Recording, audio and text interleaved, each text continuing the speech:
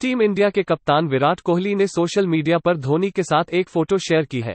कुछ ही मिनटों में ये फ़ोटो वायरल हो गई है। आईसीसी वर्ल्ड कप के बाद से महेंद्र सिंह धोनी मैदान से दूर हैं। ऐसे में विराट ने जो फ़ोटो शेयर की है, उसमें धोनी का चेहरा तो नज़र नहीं आ रहा है, लेकिन हर कोई अंदाज़ा लगा सकता है कि ये धोनी ही है। विराट ने कैप्शन देते हुए लिखा जुर्म में भागीदार जुर्मा बाउंड्री पर खड़े फील्डरों से दो रन चुराना, पहचानो कौन?